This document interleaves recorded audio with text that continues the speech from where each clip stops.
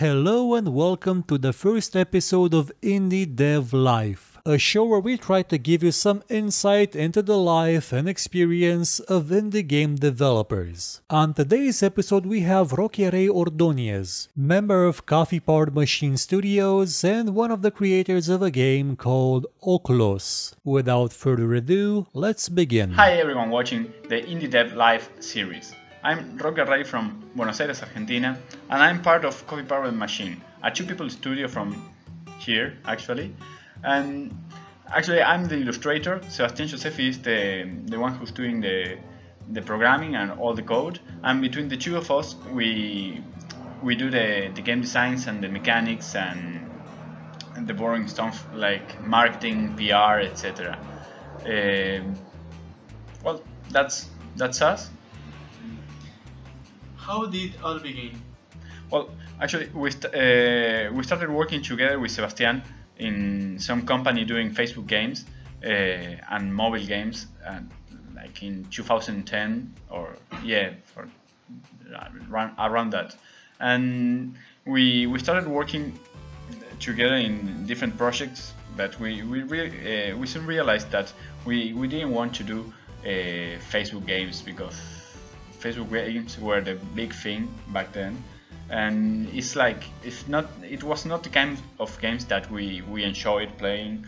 Uh, so we actually we we we eventually ended up like uh, quitting the company and started doing the, the games that we love to work with, uh, the games that we love to play in order to to make the things that we love to do. Why did you want to become a developer? Well, actually, I started doing uh, comics, and I, I I came from an artist background, so at first uh, there, there was not so much development uh, game development in Argentina, so I never thought of the when I was little about the possibility of doing games it was when when things started to to grow up in in a financial crisis we, we did have here that a lot a lot of studios started to to start businesses in Buenos Aires that uh, I I realized that there is people in Buenos Aires doing video games. And that's when I said I, I, I want to take part of this. And I started doing some freelance work for some companies here and and from there I, I started working on, on some companies doing projects with them and and then I decided to just start doing the games I want to to make. Did your friends and family encourage you to become a game developer? It's not like they, they encourage me, but they I, I, I think I, I didn't have a problem with that. It's like the they were not like saying you should do games or you shouldn't do games. It's like whatever you like, and yeah, it's it's it's like uh, there's not a lot of people here doing games, so pretty much of the people here it's like very uh, ignorant of of people making games or or what are you doing if like everyone thinks when when you say that you're doing games everyone says uh, thinks automatically that you are doing a, a Candy Crush or something, or, or you are doing an Angry Birds game. And it's like, it's more complex than that. But no, people, it's really cool. I think people is is a little ignorant, but really open to the issues, uh, really open to to making games, and they have no problem. When you start showing what you do, they they are really cool with that. What was your first interaction with video games and what was it like? Uh, I think my first interaction with games was uh, maybe ah, I don't know probably some some like Game and Watch games were like Chinese copies of, of some some Game and Watch and after that uh, an NES system a copy of a, a Chinese copy of a NES uh, game system, and from that, there's always like uh, console games and uh, Sega machine and and different consoles and at some time at my 13 or something I started using a computer in home and and that's when I went into the PC games uh, that's when I when I started playing PC games who is your favorite uh, character from video games well I, I don't think I have a favorite character maybe Guybrush Threepwood because I really like humor and he's like an archetype of, of humor in games. But I, I, don't I don't think I have a a, a, a favorite character. I think I love some characters like uh, I don't know the first guy in in Fez. Uh, how was it? It it had a name. Oh, I, I completely forgot the name. But so yeah, yeah, I don't have favorite characters in game. What was your childhood game? Well, uh, actually, uh, I, I think, um, well, I, I enjoyed a lot of uh, weird Japanese titles in the PSX era, like the Bemani series, like Guitar Freaks and all of that. But I really enjoyed like playing some weird uh, Japanese games back then, uh, games without any localization or, or anything, so I have to figure out most of it. But uh, yeah, I, I don't I don't think I have a favorite game. I didn't have a Super Nintendo when I was little, but once I started having a computer, I, I, I started using emulators, and I really enjoyed playing some Super Nintendo games like Super Mario World or some X-Men games. It's like I, I started to enjoying all the games that I couldn't play when I was little. What's the most memorable thing that you have made in a game? Well, uh, the most memorable thing for me, I, I think uh, the first I will change a little the, the question because I, I think that the the first game that made me uh, think of games differently differently is when when I uh, when I was playing Black and White, the game uh, from Peter Molyneux.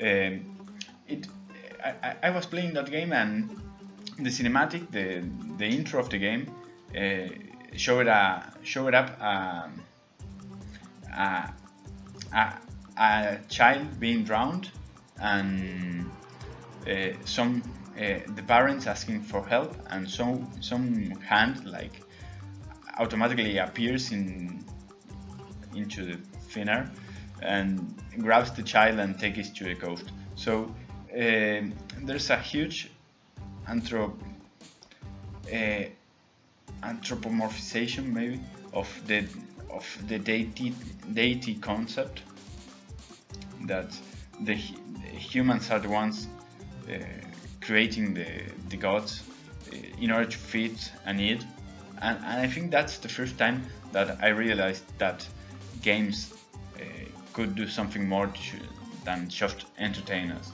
So I think that's some some kind of way of approaching the the answer the, the question uh, that for me would be uh, the, the, introduction of, uh, of black and white, where there's a, a very important philosophical concept right in the beginning of the game. How was the team formed? How have you met? Well, uh, as, I, as I already said, um, I worked with Sebastian. We were just uh, like working in different projects. But the thing is that um, because we we live like nearby, one from each other, we, we use it we use it to share the same dri- uh, ride to work. It's like every morning uh, we will meet at the same street and take uh, a cab that the company hired for us uh, to go to work. So there we, we started talking and whatnot and at first I uh, a few months uh, our this Facebook company closed uh, I, I I, I quit and started doing games by my own. I started again, and after some time, after the, the company went broke, uh, I, I reached Sebastian for help and we started working. Uh, in the title I was doing back then, it, it was a small mobile title just to like uh, warm up and start doing games. And after, uh, right after that, we started working on Okhlos. How are you brainstorming sessions going? Well, uh, we usually do some. Uh, we actually did a very little. No, no, no. Uh, well, basically, our brainstorming sessions. Uh, we we use brainstorming when we have to like set up a feature or or some characters. We we did a, a huge brainstorming when we start when we were starting Okhlos, but after that it's like we we were having like sessions of um, probably in in the four years that we've been developing Okhlos, we we might have done uh, six or seven huge brainstorming sessions that would take us all day, uh, where we have our computers, uh, we will browse uh, in order to do research or whatever, and a few notebooks, and we will start like uh, doodling stuff uh, like uh, writing stuff down and and we use a blackboard also to to write some stuff some linear general line uh, general lines of, of the ideas and we actually like like just the two of us discussing every idea and trying to break the idea down to see if if it resists some form of analysis or or we, might have to rethink that. But the the the, the brainstormings are usually very very short. The two of us talking and see seeing if the idea works or not. Uh, what's the cause of misunderstanding in your team? How does that affect uh, the work environment? Well, actually, uh, we we don't usually fight a lot. Uh, I think there are not there are very few misunderstandings, but when you when you when you work with someone every day for for a lot of years, it's like there could be some high tensions, but usually we, we resolve everything like just talking and discussing it and and trying to to analyze it from various sides.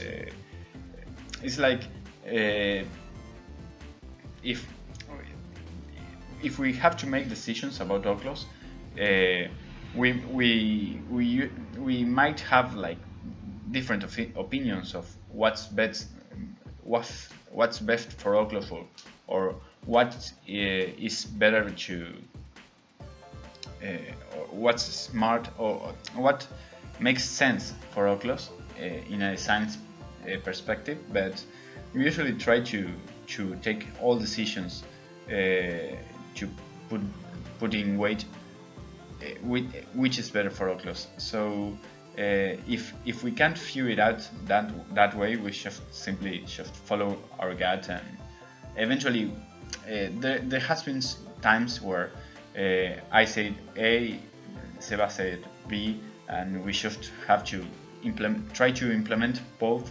uh, features or both ideas and we have to just test it and and try to see which which one feels better and if we can't solve it in that way we might have like uh, to call a third party a friend or whatever to see how they feel the, the game and we try to be very democratic in that regard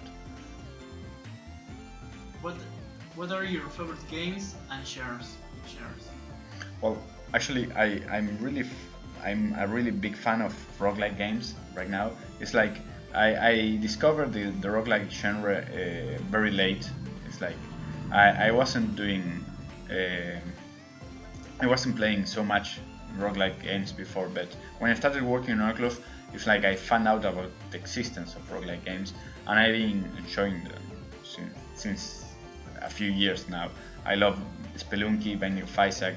It's like I, I love the idea of a game having inf- uh, being infinite. It's like I know I know you you can play a game so many times without being like, bored by the game, but um, I, I think the, the the idea of having a, a infinite game it's it's really appealing. It's really interesting. What type uh, what type of games do you grade? Well, uh, actually, I, I don't have that big of, of a portfolio, but I, I, I like to think that I make uh, games like are a little bit anarchic, which uh, they we try to do what we like and and we, don't really care about market uh, uh, tendencies or trends or or whatever. It's like we, we just want to play the, the kind of games that we feel like we would like to play. We we try to create the games that we we think we might enjoy as a user. But in the the, the, the hard reality is that uh, you, you will never be able to enjoy your own game uh, in uh, in first first person uh, because uh, you, you can't really enjoy what you what you create because you see the flaws you you are tired of the project it's like you you can't really enjoy it in the same way that you would enjoy the same game made by other people other per- person or people What are you specialized in? What are you specialized in? Specialized.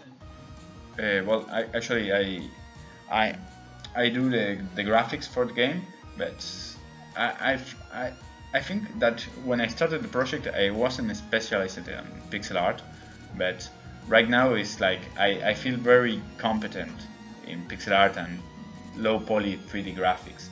Uh, and I think I'm very comfortable with that. I, I, I might want to do something different in future games. Like I, I've been working with 2D and vector art uh, a lot of time in my professional life, but now after four years making Okhlos, I think that I'm I, I feel more comfortable in, in pixel art. So I, think that's my strong suit. I might do some some other things in order to, to change a little, to to do something different.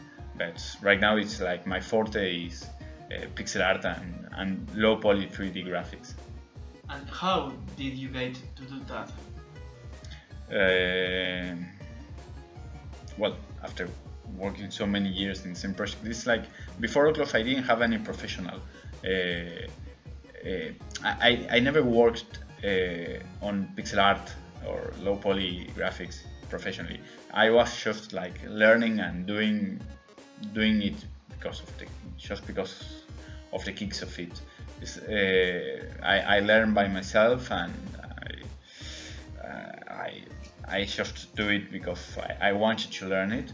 But uh, after Okhlos, it's like I, I, I really have a an idea of how is the pipeline of integrating all the graphics and and doing things for production. What tools do you use to build, to build, uh, build your games? Well, actually, we use a Unity. We we started Okhlos in Unity 3, and we switched to Unity 4 in uh, right in the middle of development. Right now, we are working on on migrating Unity uh, Okhlos to Unity 5, and and I think that uh, that's mostly it. Uh, in shine wise, I, I do use uh, a lot of 3D Max and Photoshop, and and in the end, you you end up using a lot of tools to, to do one thing or another. For example, uh, I use bitmap fonts, which are like uh, huge atlases with with all the, the glyphs in certain fonts. Uh, and I have to use a, a, a, tool for that, which is called BM font or something like that. And I, I realized that I, I learned to, to you have to use a lot a lot of tools in order to, to do game development. It's like if we have to shoot a trailer, uh, I, I have to learn how to use um, Adobe Premiere or After Effects. And uh, for example, the, the, the, thing about the fonts I was saying before, I had to use FontForge to edit some of the fonts because I, we have to locate the game in eight different languages. So uh, I, I had to do some some edits in that regard. So in the end, I, I use a lot of a lot of programs for very particular functions, but mostly is uh, my, my my my my common day is 3D Max, Photoshop, and Unity. Considering the fact that there are plentiful of engines available for indie de- developers, will you use one of those or make one?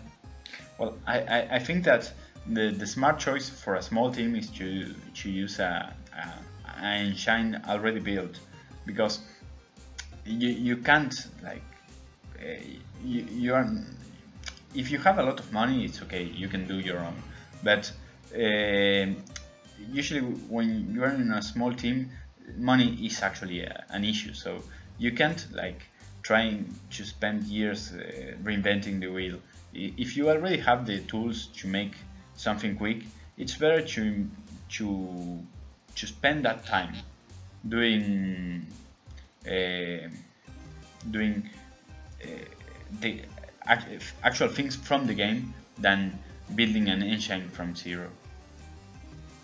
What will be the disadvantage and advantage from using that? Well, actually, as I said, uh, I think the, the main advantage of of using a, an engine is that uh,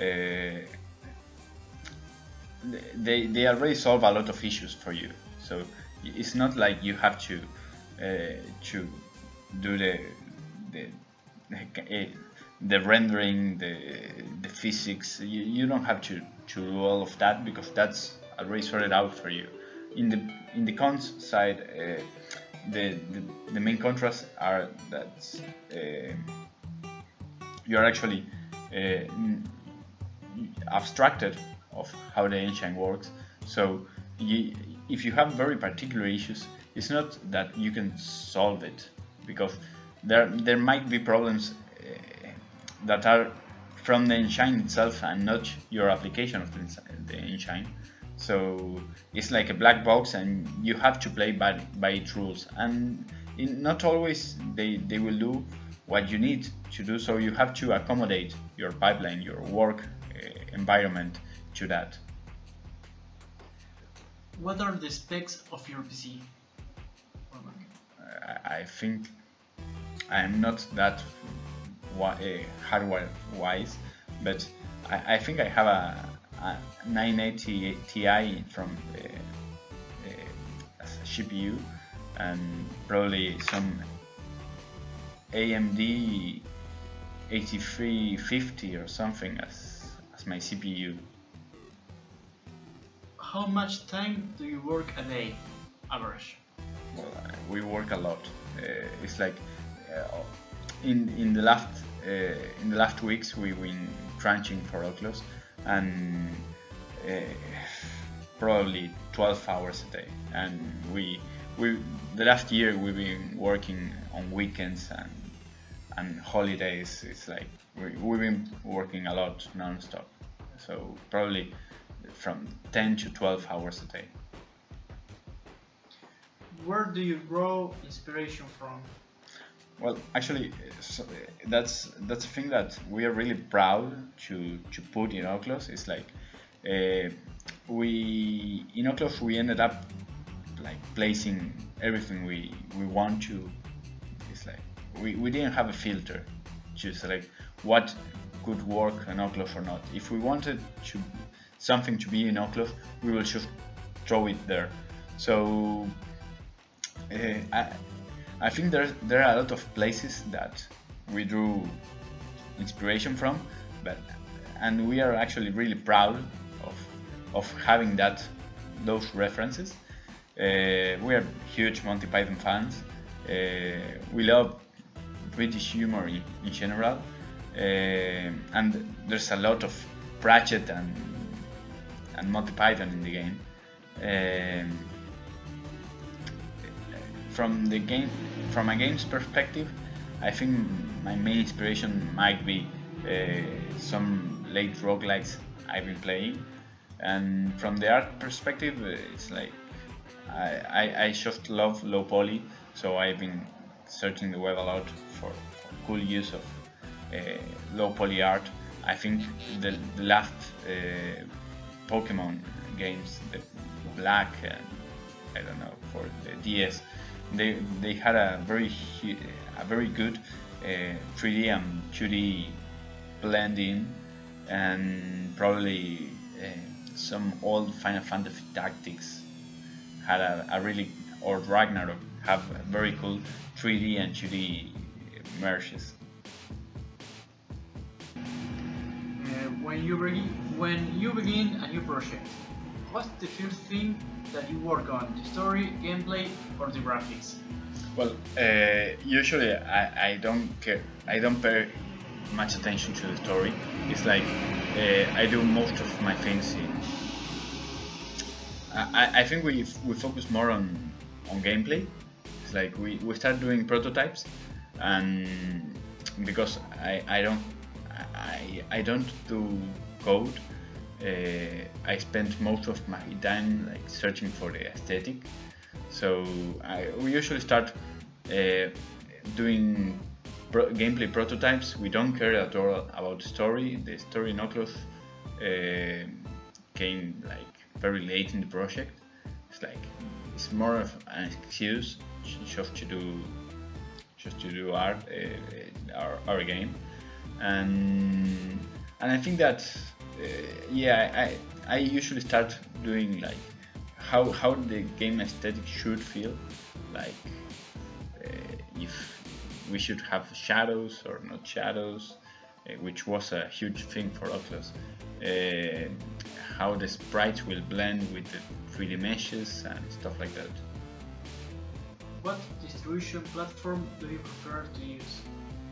Well, so far we've been using both uh, GOG, and Steam and they are like pretty cool in own ways.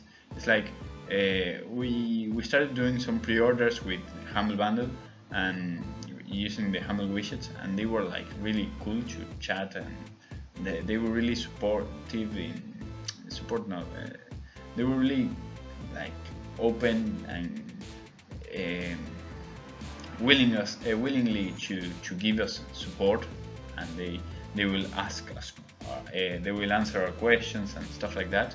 So they were really cool. Uh, and actually we, we wanted to use some weird things like using a limited uh, widget uh, with a limited amount of for one of the pre-orders with a limited amount of downloads uh, of downloads. And they they did that for us. So they were like really cool people we we didn't work so much with GOG but they they reached us before we started publishing uh, announcing that they, we we will uh, publish the game with Devolver but uh, they were really uh, they they reached us to publish uh, Okhlos in GOG and they were really friendly and very cool. Um, and we didn't work a lot with with Steam, but they were really good people, uh, really cool people. Uh, we we had some issues at first, and they were really uh, eager to solve them. So we work really, really fine with the three big platforms that we're working right now because of uh, because Steam has a huge market share. It's like they might be more important in uh, in getting an audience, but the the three of them are really good. What is your favorite platform to develop for? Well, I I, I would say that uh, definitely PC. We we are launching Okhlos uh, for for Mac and Linux as well, but we I don't use Linux.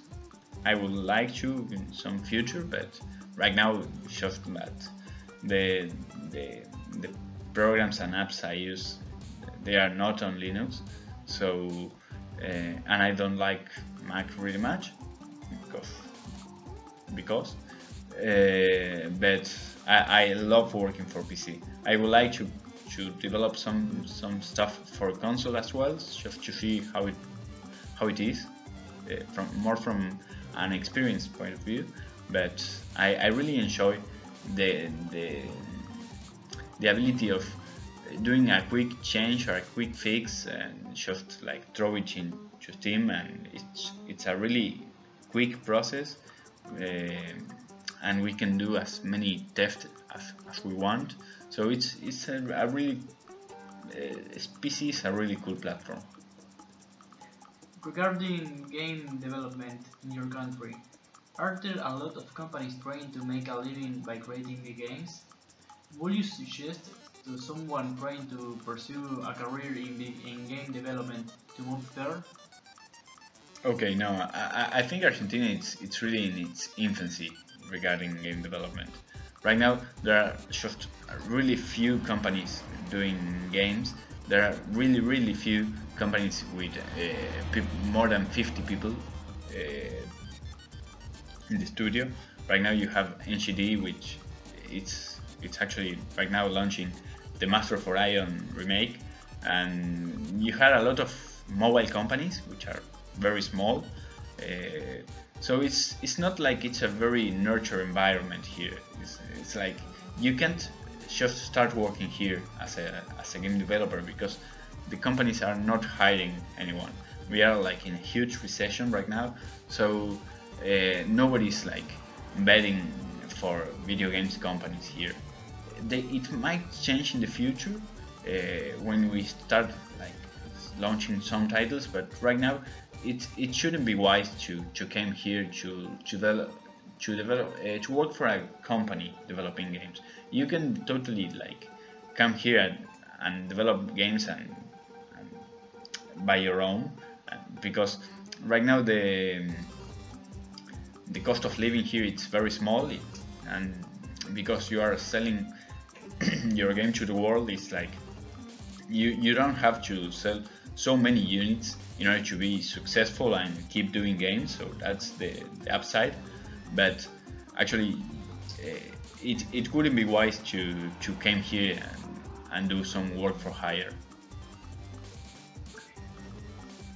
uh, how hard was it to be just on steam well actually uh, we, we ran the, the greenlight campaign the steam greenlight campaign and it was a really I think it was an easy process. Uh, we we we've been on Greenlight just five days and we got greenlit, and it was really quick and really easy. We we did the pre-order and the the pre-order campaign and the Greenlight campaign uh, together. So for us it was like very taxating uh, in, in resource that we have to, to do graphical assets and stuff like that. But other than that, it was a really easy process uh, because uh, Steam is uh, it's like uh, we, we just draw some videos and, and, and, do some stuff, and, and I think that the game sale sale very good for itself. So so we, we didn't have like really issues other than paying the, the 100 bucks that Steam requires, it was like a really easy process. Actually, I I, I think I remember that uh, at one time when we when we were in, on Greenlight yet uh, still uh, I, I didn't know how to read the graphics so I, I think we were done we were doing very poorly but uh, Sebastian actually told me no that's like a good thing. We're doing great. Okay. So, uh, what do you think about uh, Steam Greenlight? I think it it doesn't. Uh, I think it's a good idea, but it doesn't for, uh, fulfill fulfill uh, fulfills its purpose. It's like it's it's not very useful to filter content uh, content. So it's it's like it's a it's a very good idea to filter content by by the community and having the community uh, like doing a, a pre-selection of what things interest teams and what uh, things not but it's not uh, doing what it should do uh, which is the proper filter of crappy games from cool games or whatever. So I think there are some issues. Also, a lot of users just don't use uh, Steam Greenlight because who would want to like like uh, browse endless lists of very small or very shitty games. So it's like there's not a reward for for the people doing the, the browsing and and you have to redirect a lot of traffic from from your fan base to to to the Steam Greenlight in order to support your project. So I, I don't think it's it's like very well executed. It's a very good idea, but it's not well executed. So I think the, a, a huge change should be made in order to work as intended. What do you think about Steam Workshop? Workshop. Well, I, I, I actually never use it. I, I have a, a vague concept of what it is, but uh, I wouldn't give too much opinion about that because that's not something that I'm really into. I think that the idea of making content for a game, it's a, it's a really good idea and it's cool to have a, a proper support from Steam in order to do that, but I, I'm not very into the issue. So you say that that will increase the lifespan lifespan of a game. Yes. And do you plan to, to use it in the future?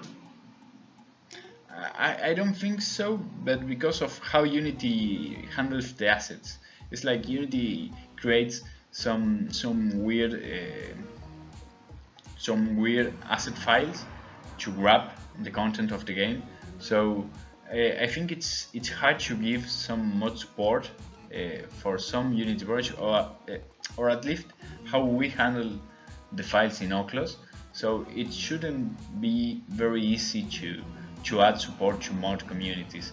So probably it's not on our list right now. This like right now we are working on huge changes from the mechanics, from the content, and and adding some stuff uh, to Okhlos and, and new features like uh, locking the cursor button, uh, the cursor mouse button, uh, the mouse cursor, sorry, uh, in in multi-monitor uh, setups, but it's not something we are working right now. Regarding the Steam Workshop, can modders be consider considered indie devs on their own? Yeah, I think so. It's it's uh, it depends of of course, but if you are just like removing some texture and doing a nude patch or whatever, uh, it's not like you are technically a developer. But if you are making huge changes, how like the guys who are redoing Skyrim or stuff like that, I, I think yes, in, in, our right they, they are uh, indie developers. As much as we use Unity, they use another game, which is which might be a, a huge task by itself. But yeah, the, the, of course, depends of uh, on what is the mod doing. Okay. Uh, how uh, how do you approximate the budget that you need for a game before developing it? Well, actually, we we well we we do an estimate of how much time we, we will have to spend in the game, and after that, it's like uh, well, this game will take us six months. Usually are two years, and we we underestimated. But uh, we say how much money we need in order to live six months. So we say, well, to live six months in Argentina, it's like I don't know. Uh, I, I, I would have to do the math, but uh, you can live with very little money here uh, monthly. So we say, well, you need uh, I don't know 200, 300 dollars per month to live in Argentina.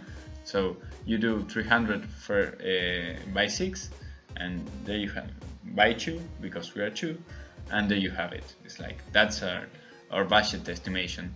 When the more because I think we have a very explorative approach to games.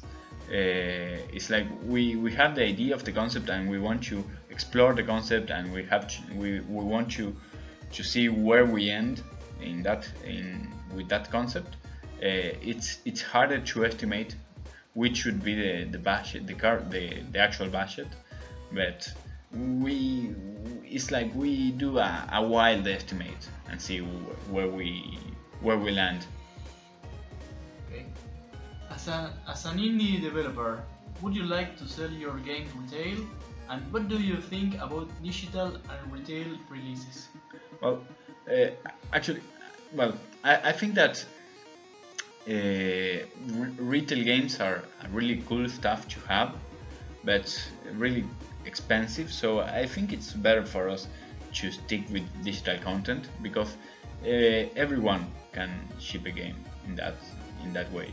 If you have to do retail, you have to like work uh, months ahead of time and you can't do day one patches so widely as we do and it's, it's like it's really messy and and really expensive for a small team so I think it's it's much better to stay in the digital content uh, side of things than doing a retail version that uh, it will involve uh, some inversion, uh, some some investment, uh, some money investment in order to have retail copies on the market on the launch.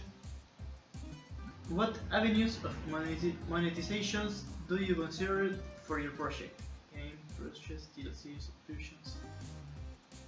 Well, we are very happy to have the, the monetization that we have right now in Okhlos, which is a very basic one, which is uh, you buy the game, you have it. We were planning on adding some up free updates. We are not planning on doing any DLC right now. Uh, we, we like this this model of you buy it and you have it. We we are not really into games as a service where where you charge uh, small amounts every now and then.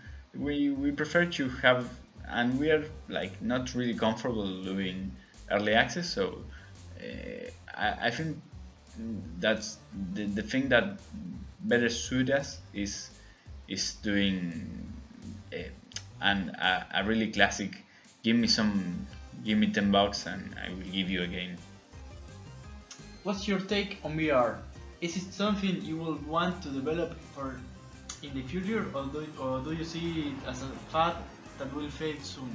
Well, it's it's really early to say if it if it is a trend or or something that will eventually like uh, uh, fade out uh, fade out. But uh, I'm really eager to see what things came from the VR uh, side of things uh, that will stick in traditional game development.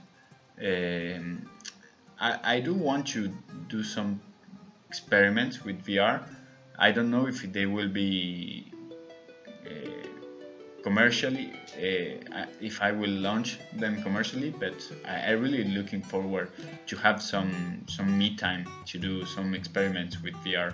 I think it's a really cool technology. I think what Vive is doing with the HTC Vive is um, it's really unique. It's like they are not just throwing you a helmet. It's like you have the, the entire area and it's really cool what what you can do with that technology so I think it's something worth exploring even if if eventually ends in in a very small market that you you can actually make a back from that but it's it's worth uh, the try if some big uh, publisher contacts you to propose a deal for a game will you consider it well, we actually did. We are we are launching the game with Devolver uh, Digital. They're a really cool indie publisher, and actually, I think they are the the the greatest one right now because they, they have a huge brand and they they know what they do and they they they can do like very cool things for the project. So yes actually uh, we we had a lot of offers from small and medium sized publishers and we we never we never really thought into launching our game with the publisher. But when we started work uh, talking with Devolver, it's like yeah, we, we should totally ship with these guys. Regarding AAA games and indie games, What is your opinion on these two kinds of games? Well, the it's a really archaic definition. Maybe it's like right now is is uh, there are really really few AAA games. So um, and there are more and more and more indie titles. So right now the the, the label indie is like it should be like disappearing with time. So uh, yeah, we, we we can actually call uh, huge budget titles, um, but uh, it's it's becoming more and more difficult to, to launch successful uh, AAA games. So uh, I think we, we will start seeing some middle ground where there are really polished and very really huge titles like No Man's Sky or Talos Principle or that they don't fit in a AAA category but they don't actually are very small titles either so I think we, we will start seeing some more middle ground regarding uh, independent uh, medium and medium-sized uh, uh, games, uh, but medium-sized budget games. How well do you believe your games needs to sell in order to let you continue your work full time? Well, as I said, being an Argentinian developer means that your your success quota is is much smaller than someone living on San Francisco or Europe. So uh, we we just we, we need to sell uh, far less uh, units in order to keep doing games and we already in the fifth week we already achieved that with Okhlos so uh, I, I, think that as long as we, we made some some success uh, like a, small success we are able to keep doing what we love and we are just we are just happy with that. But it's, it's not like big number it's like uh, yeah probably selling like 10,000 units already makes us successful. What do you think about gaming conference? Well I, I really enjoyed participating on game conference. I um, yeah I, I like to show my game and to receive feedback so it's it's really cool from that that perspective but I also enjoy uh, the talks at GDC or stuff like that so I, I, don't I never really made my mind about game conferences but I, I do enjoy them. I, I don't usually go to uh, to events that are more uh, focused on public other than to show my my game like uh, PAX South or PAX uh, different PAXs. But other than that, it's like I don't really go to consumer expos. I, I do really go to to developer conferences. But I, I enjoy by far more uh, assisting to to more developer focuses uh, focused uh, ex expos than consumer expos. In your opinion, what is the best way to promote your game? Well, we we actually did uh, a, a devlog for Okhlos. We we found that it's really useful to to document your process because you learn a lot about about your game while you are documenting it. So that's that's kind of useful. It's not the the most useful way, but assisting to expos and showing your game at expos is really useful. Uh, doing a lot of uh, streaming it's really useful, but you you you have to know when it's a good time to promote your game via YouTubers and Let's Plays and all of that, because it's like you if you show your game very early in the process, um, you will end up like. Uh, you will not take advantage of the fact of a lot of people is talking about your game and you don't have anything to offer other than the view of the of the YouTuber. So probably it's it's a good way, it's a it's a very smart thing to do to to sh- just start sending your game to let's plays and stuff like that when you are almost finishing your game not very early it's it's good to make some hype but uh, you might lose the the novelty value of your game if you, you start sending builds very early when do you think it's necessary to advertise the game well, I, I think you should do it like from day one. It's like you have Twitter, you have Facebook. You you you should you have to be very vocal about your game, without entering the the spam ground. But you have to be very vocal and and, and try to to share the love that you have for your project to the community and and spamming screenshot Saturday or uh, trying to, to find ways where you can show your game, your work in progress. But yeah, yeah, I, I don't think advertising in, in a traditional manner might help uh, might help you in the gaming industry because uh, we, we can do some guerrilla marketing when you don't have to spend money for promoting your game. How are you affected by reviews? Well, uh, reviews are a really hard thing to tackle because it's like you put your soul in into your into your game. So when someone likes it, it's it feels re really really rewarding and it's really cool. But when someone talks trash about your game, it's like really really hard. Uh, but you have to learn to to deal with that as well. It's like your game will not. Uh, there's no no game that will uh, make everyone happy. So something uh, there are things that you end up learning to deal with, but uh, always when someone talks trash about your game, you you will feel something. It's like there's no escape from there. Has Steam Early Access helped you uh, polish your game more than you could have been done normally? We didn't launch it uh, in Steam Early Access.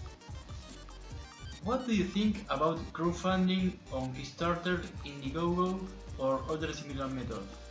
Well, I, I think that they're a really good concept, but uh, there was a trend on Kickstarter that uh, actually, uh, well, um, from some time in, in Kickstarter, it's like if you have a name, uh, if you are if you were a, a, really known game developer, you could like uh, fund your game. Uh, but if not, it's like Kickstarter was doing very small money for smaller devs and a, a, a really good amount of money for very well-known devs. So there was no no middle ground back then.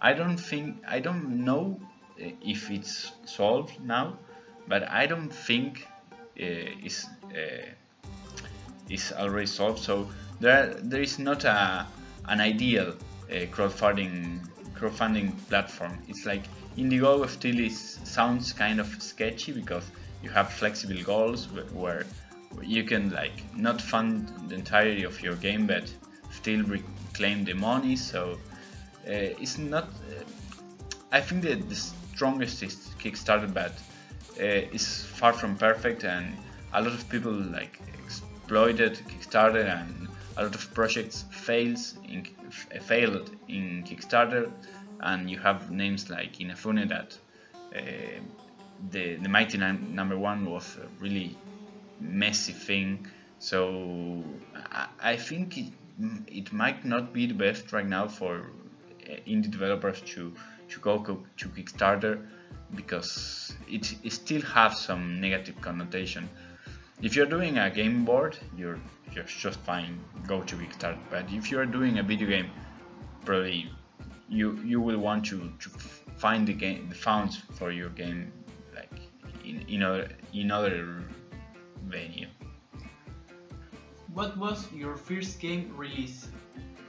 Uh, my my first game from like 100% mine was a game called Gravity Fleet. Before that, I I launched a lot of games with uh, my my uh, the, the company I was working previously, uh, like Auto Hustle. Uh, I can't remember Pixel Ranger.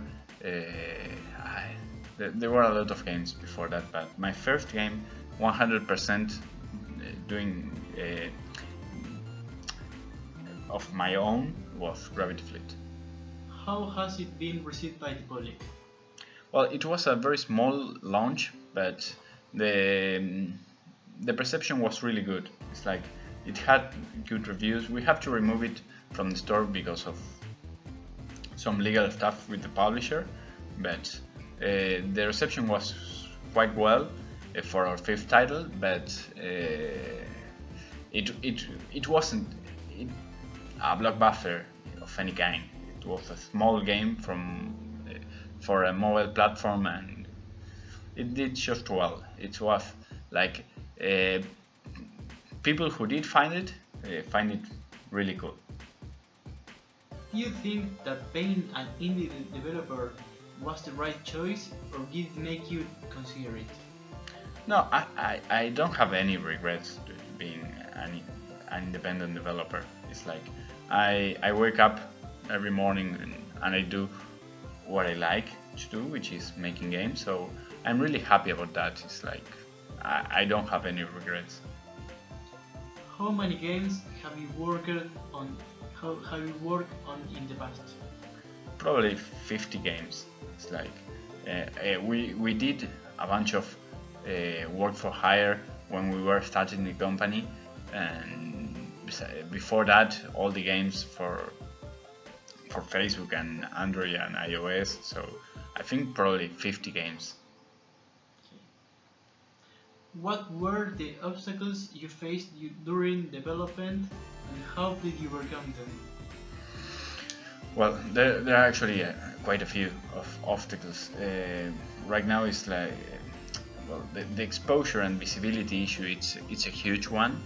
Uh, you, you, you really have to find your audience and, and try to, to gain exposure and be relevant so I, I think that that's one of the most difficult things to overcome. But there are a lot of technical issues as well. Like for example, we, we were like weeks before uh, launching Okhlos, we found out that we had a huge uh, performance performance issue regarding the, the amount of units you can have in your mob. So we have to tackle that as well, and it was really hard thing to tackle. Uh, some some aesthetic things like uh, how how the pixel art integrated in in the uh, in the 3D environments was really hard to tackle and, and to find some uh, color palette that that worked very, very well in, in all the world environments in Okhlos was was uh, hard to find and we when we were like uh, finishing the, the, the, contract details with Volrace, like it, it, was really hard to to like know if if the things that we were saying, signing were like cool or if we might have like probably doing some something wrong or or taking the wrong choice. So it's like there's always this constant feeling that you have you have the possibility of taking a lot of paths down the way, but you never know which uh, if the path you take is is the correct path or if if you could do something different what you would do. So th there are a lot of hard choices down the road in, in the independent development. Um, probably for us is like getting the exposure was really hard and and it's like I think the main issue that independent developers find today. What lessons, lessons have you learned from development? Well, actually, a, a lot. It's like we we've been working in Okhlos a lot, and and we we learn a lot about estimating uh, how much time should a thing with uh, should take us, like a feature or content or or stuff like that. It's like uh, we are better estimating the, the time that uh, the work will take us to do and uh, uh, yeah I think that's like a really the most important probably lesson that we learn but we also learn a lot about uh, dealing with QA and localization and and how to implement different languages for the game and uh, how to do proper playtesting, which was like a really uh, richful uh, experience to, to have like 20 people in a week playtesting the game and and tweaking things in our um, according to the feed, to the feedback we gathered from them. So there are a lot of tiny lessons that you learn. What game are you working on right now? Well, we are we are just not done with Okhlos. It's like right now we are migrating to Unity 5. We are we are planning on doing adding some stuff. So I, I don't think we are done with Okhlos right now. Uh, we we will eventually move from Okhlos, but it will not be until a few more months, and we have no idea what we will be doing next. How is the key releasing market with services like uh, G2A or King, Kinguin affecting you? Well, actually, it's uh, because we just launched Okhlos. It's like we we don't perceive that uh, we we don't uh, notice any any strange thing with keys. And and because we don't sell the uh, our games in in other stores than Steam and they they they deal with all the chargebacks and all all that stuff it's like we are not suffering from them. But I, I, I don't think they're a really good practice. Uh, I do think that the, the developer should have uh, the power to decide where he wants or he or she wants to to sell their games. But on the other hand I, I, I recognize that the user if if I bought something I should have the right to to resell it.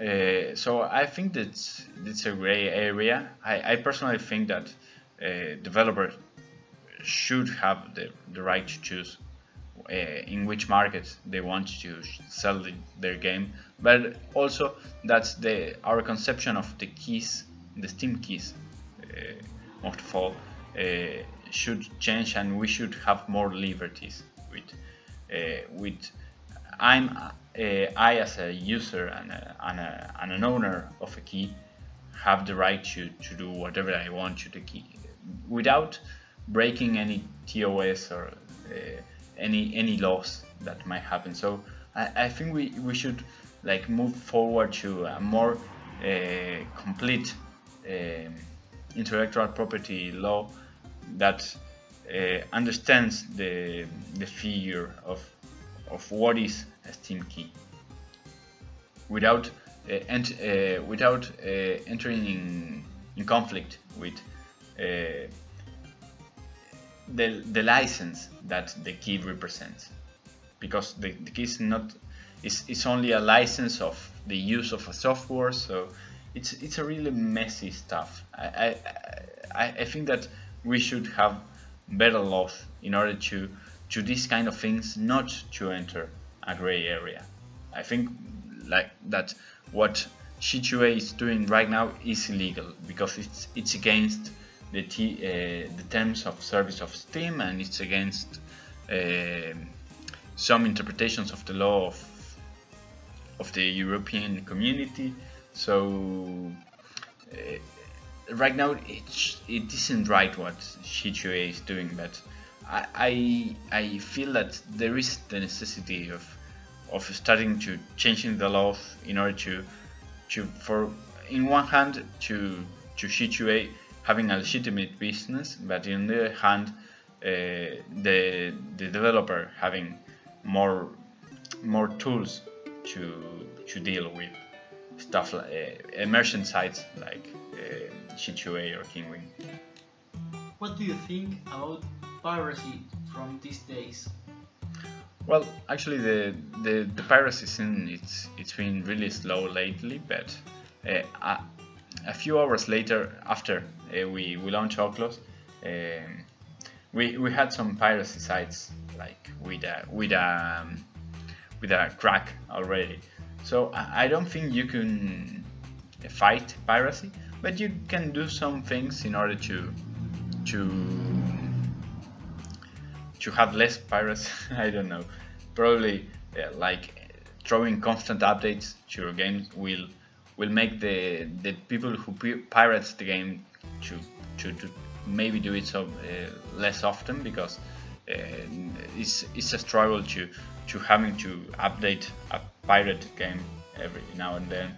So if you launch a lot of updates, you can combat, you can fight that, but the the user that is not willing to to give you any money, they will never give you money. So uh, it's like you you shouldn't like worry too much about piracy. If you can have like uh, if if you can have like some achievements uh, Steam there there are a lot of features that Steam offers that are really cool and uh, they might be a case against piracy of games but there's some people that just want to try it play it a few hours and that's it and you will never be able to reach that audience at least for now. Do you think uh, that you could somehow take advantage of it as an advertising method. As an advertisement. Okay. Uh, no i well there, there has been a few developers that did that but actually yeah it it might sound like a good idea but it's it's like it's too much hassle and and it's very likely that nobody will get notice of that. Uh, yeah I, I don't think it's it's really worth the effort to to like uh, set up a, a particular build and say hey I'm a developer should pirate my game if you want, but if you really like it, you should buy it on Steam or on sale or whatever. Uh, I, I don't think it's worth the hassle, but it's it's a it's an interesting idea if you if you are seeing that the games gets pirated a lot and you are getting no sales, maybe there's some way to, to reach from for that audience. Uh, might be interesting, but only if you have the the the pretty well uh, if you if you have the certainty that a lot of people is pirating your game. Have you thought about what your next one will be? Uh, my next game? No, I have no idea right now. It's like we we, we didn't even finish Okhlos yet, so uh, we we might stuck for with Okhlos for a few more months in the end, did your games uh, win any award? What? Well, we, we did won a few awards. Uh, best gameplay from big festival in Brazil Independent Games Festival in, Bras uh, in Sao Paulo, Brazil, uh, in 2015. That was our first really big award. After that, we, we received some mentions from the EGX left field selection for, for games or whatever, uh, 2015. We, we won most promising Argentinian game in 2016 as well, 15, yeah. Uh, we won Game of the Year at some time, at, at some year that the game didn't even launch. Uh, we, I think we we we've ended up in some other selection like the Media Indie Exchange and in San Francisco and and a few more. But yeah, we we had some awards. It's like we are shocked really humble and we don't want to talk about it. What is your greatest achievement so far as a game developer? Well, I, I think that launching Okhlos uh, is right now, sadly as it is, our biggest achievement. We are really happy with the result, and we actually uh, when we finished our fifth game, we were like really drained off, uh, and we didn't knew how to keep doing games because we we didn't generate like nothing with the game. It's like we, we generated a really really small amount of money, and uh, four or five years after the, four years after that, uh, being able to to bring to develop my game and and publish the game with Devolver, I think it's it's a huge uh, deal for us, and we are really happy with the fact that uh, after all the adversity and all the the things in the bad and the idea that we, we might not have the money to do a second game and that in the end we could do as uh, and and right now we can do more games uh, because Okhlos was successfully enough for us that we we might we we don't have the the money problems that we have before. Um, I, I think that's a, a great accomplishment. Uh, besides that, uh, winning on big festival uh, in Sao Paulo was a huge deal for us, and and here in Argentina because there's a lot, there's a very small group of people making games. It's like everybody know known us here, so a lot of people uh, like uh, think uh, really very highly of us just because uh, we we were able to to publish our game and to for us a two people company to to develop a game for four years. So we are really happy with the recep with the perception that people uh, have from us uh, here in Argentina. Also uh, we've been in some at GDC we, we we've been invited to a lot a lot of very exclusive parties so I, I, I think that that's when we thought well we, we are really into making games so we are, we are doing just fine What's the game you have always wanted to make if budget wasn't an issue? Well, uh, when I was little, I wanted to do a, a full 3D Pokemon game, but I was I was really small. Um, I don't have a particular game. Uh, I, I would like to make without any budget issue.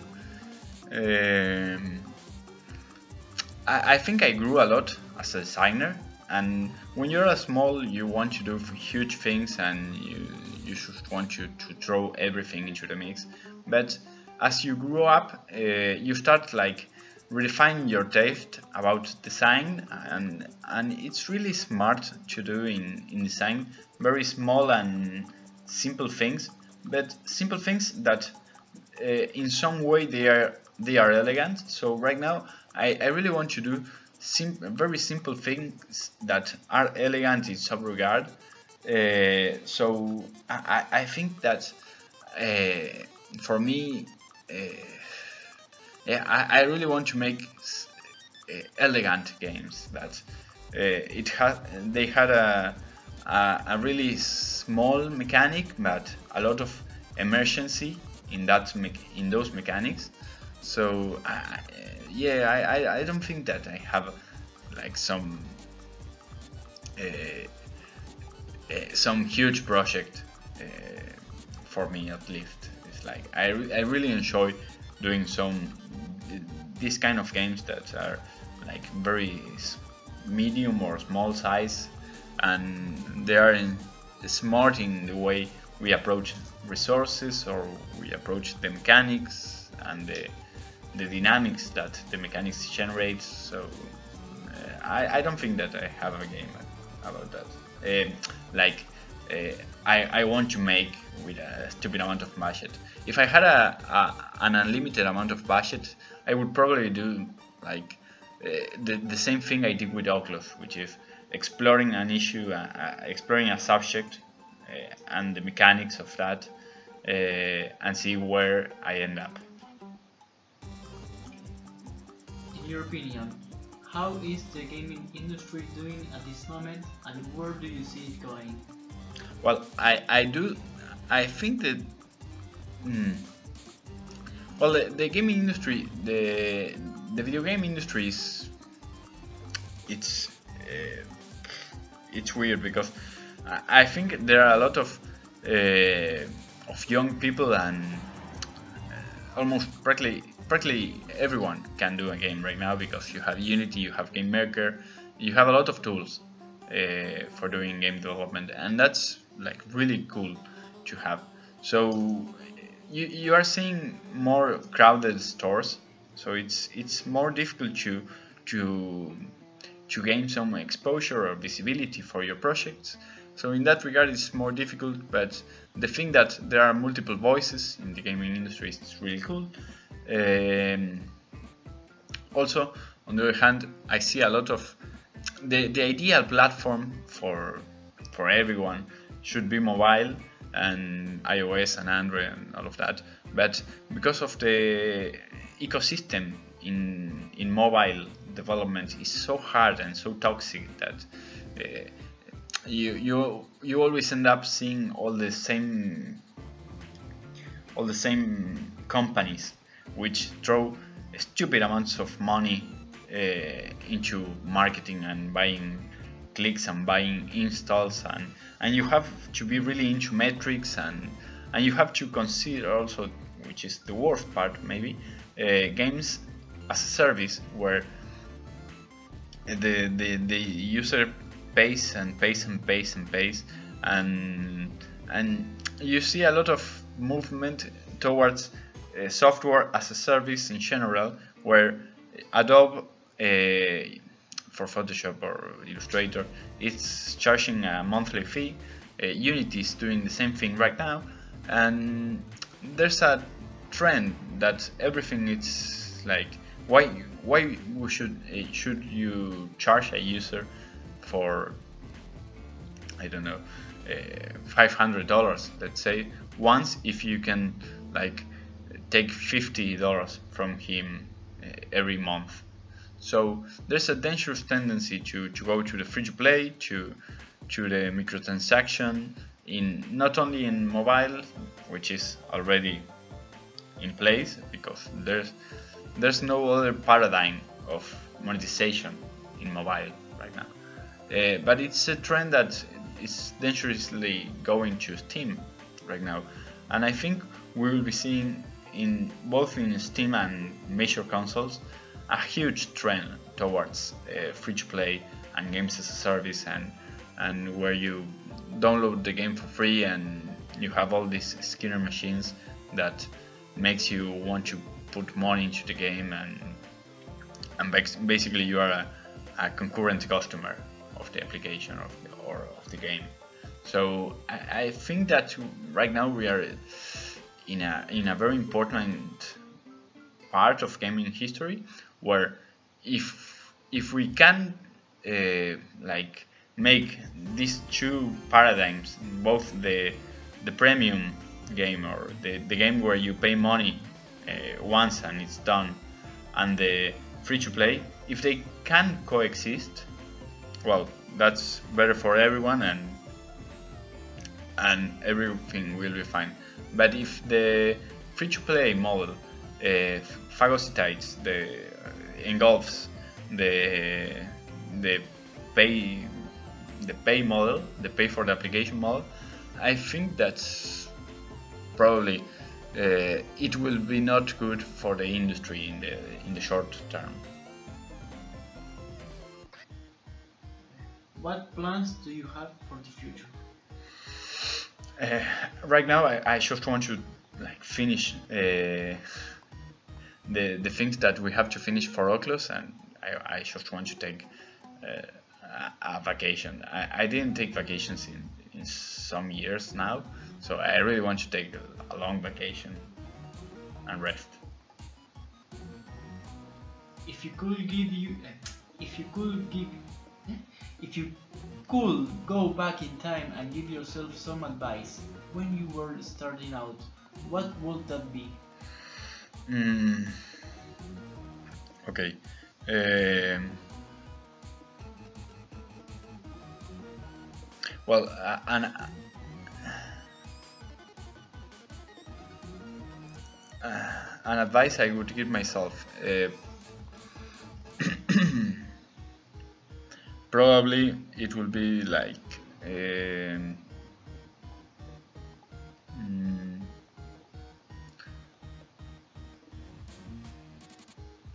uh, well I, I learned a lot about the the mechanics in Okhlos about play test uh, through play testing. So I, I think all the all the advice I would give is uh, is for tweaking mechanics in Okhlos like doing playtesting very often and and doing a lot of changes and embrace the procedural generation. Uh, and they're mostly things related to Okhlos development but uh, yeah yeah I think that fortunately uh, I would do most of the things uh, not uh, mechanics wise but I would do most of the things uh, development wise the same. It's like uh, try to use as many plugins as you find because you're using Unity and Unity it's really cool in the it really has a robust asset store so uh, you shouldn't like waste time coding or implementing something that uh, someone already did so it's like the best part is to focus so much in in your own development and not try to build perfect tools.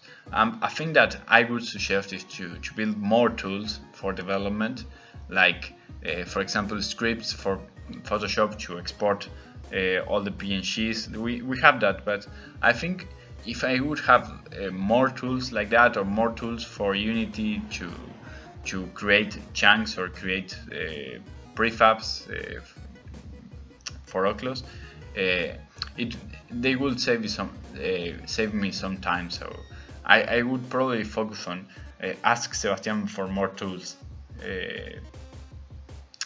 internally, and yeah, probably that's that's like the main thing I would advise myself to to to ask for more tools and and try to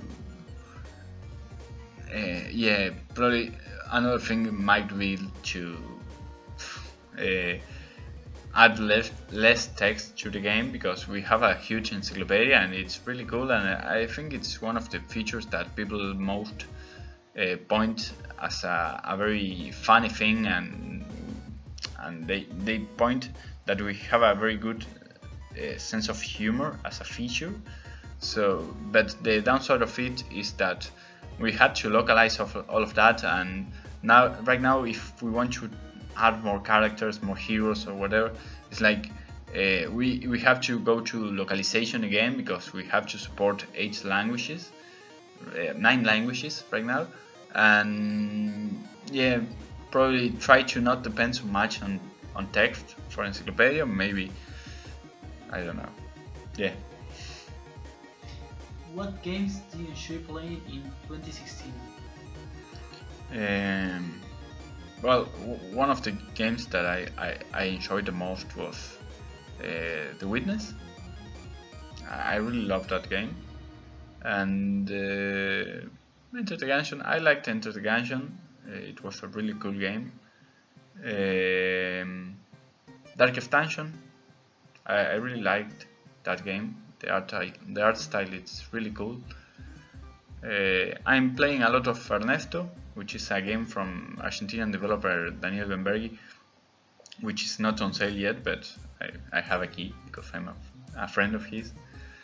Uh, that's a really cool game, uh, and I think I, I can't I can't remember any other game, but I, I didn't play a lot of games in 2000. 16. I I think I enjoyed uh, Tomb Raider, the, the, new Tomb Raider. It was a small game. It was not perfect, but I I enjoyed playing it. Leave a message for other in-devs in addition to your final message. If you have any final message, please don't hesitate to speak your mind. Well, Uh, doing games, it's really hard. It's really uh, tiresome. So if you can like just resist it and and keep doing games even if you fail, that's probably the best advice anyone can give you. Just like don't be try to do whatever you like to do. Try to do the games you love to play and work with passion and if you fail it will not be in vain. It's like you you have learned a lot and you will have some game on the market so it's always uh, cool to have your games on uh, published so uh, the one thing I, I notice on a lot of devs uh, is that they start a project they, they start with a lot of uh, uh, energies the new projects and after a year it fades out. So they, they don't continue making games. So I think that uh, making a game for four years is like a really uh, endurance test so if you can if you can commit to finish a game that's that's uh, a proof that you're really into making games. So uh, try to to commit and finish the game. That's even if it's a silly game, if it ends up if it ends up being a very bad game, it doesn't matter. The thing is that you finished a game, and that's actually an achievement by itself because it's not easy to finish a game. Even it's, if it's a commercial uh, failure, it will, it, it's very likely that it will be a commercial failure. But once uh, once you have your game out there you are different because a lot of people it's playing your game. A lot of people know who you are. Uh, it doesn't matter the, the economic aspect of the game so much as you have made some impact in the world. So that's it. Best of luck and just continue development Thank you for watching this show. If you enjoyed it, please consider watching some of our other videos and maybe sharing them or giving a thumbs up if you feel like it. And if you really, really liked what you saw, please check out our Patreon page. For just $1 a month, you could help us make much better shows and get some rewards in the process.